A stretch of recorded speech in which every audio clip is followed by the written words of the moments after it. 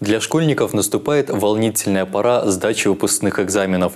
О том, чтобы этот ответственный период прошел успешно, в Урюпинске совершили молебен для учащихся. По благословению епископа Урюпинского и Новоаннинского Елисея он прошел у арки в честь Урюпинской иконы Божией Матери.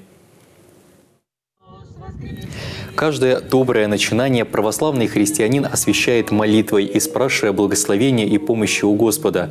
По сложившейся епархиальной традиции на молебен пришли и младшие школьники, и выпускники, и учителя, и родители. К первому серьезному испытанию в их жизни нужно приложить труд, усердие и молитву, а помощь Божия всегда близка для открытых к Нему сердец. После молебна священник передал выпускникам благословение правящего архиерея, пожелал вам помощи Божией в предстоящих испытаниях. Я вам советую просто, как священник, конечно же, идете на экзамен, молитесь Господа, Господи помилуй, помоги мне, Боже, своими словами, чтобы очистилась ваша душа, именно была готова.